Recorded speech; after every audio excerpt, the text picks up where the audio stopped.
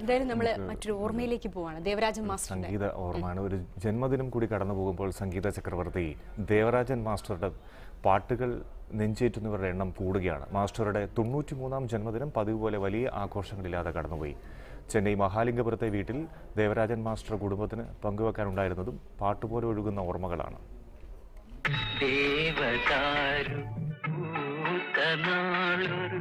ദേവകുമാരിയെ കണ്ടു ഞാൻ.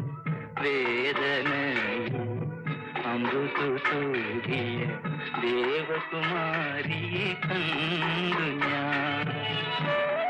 മലയാള ചലച്ചിത്ര സംഗീതത്തിലെ കിരീടം വയ്ക്കാത്ത രാജകുമാരൻ. പഴകും തോറും മാധുര്യമേറുന്ന ഒട്ടനവധി പാട്ടുകൾ നൽകിയാണ് മാസ്റ്റർ രണ്ടായിരത്തിയാറിൽ വിട പറഞ്ഞത്. പ്രണയവും വിരഹവും തുടങ്ങി മനുഷ്യ മനസ്സുകളിലെ സമസ്ത ഭാവങ്ങളിലൂടെയും കടന്നുപോകുന്ന മിക്ക പാട്ടുകളും പിറന്നു വീണത് ഇവിടെ ഈ വീട്ടിലാണ്.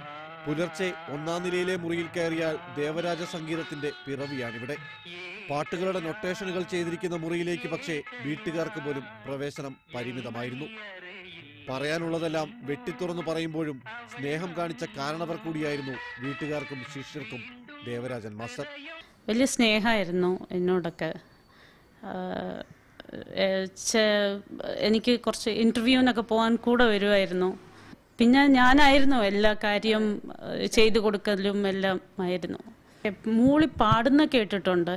പിന്നെ മോ എന്റെ മോനെ ഒരു പ്രാവശ്യം റെക്കോർഡിംഗ് സ്റ്റുഡിയോ കാണിക്കണമെന്ന് പറഞ്ഞിട്ട് കൂട്ടിയിട്ട് പോയിട്ടുണ്ട്. അപ്പം ഞാൻ ആദ്യമായിട്ടാണ് കാണുന്നത് ഉറച്ച കമ്മ്യൂണിസ്റ്റുകാരനായിരിക്കുമ്പോഴും മറ്റുള്ളവരുടെ വിശ്വാസത്തെയും ആഗ്രഹങ്ങളെയും ബഹുമാനിച്ചിരുന്ന മാസ്റ്ററുടെ മരണശേഷമാണ് വീടിന് ഭാര്യ ലീല ദേവരാഗമെന്ന പേര് പോലും ഇടുന്നത്.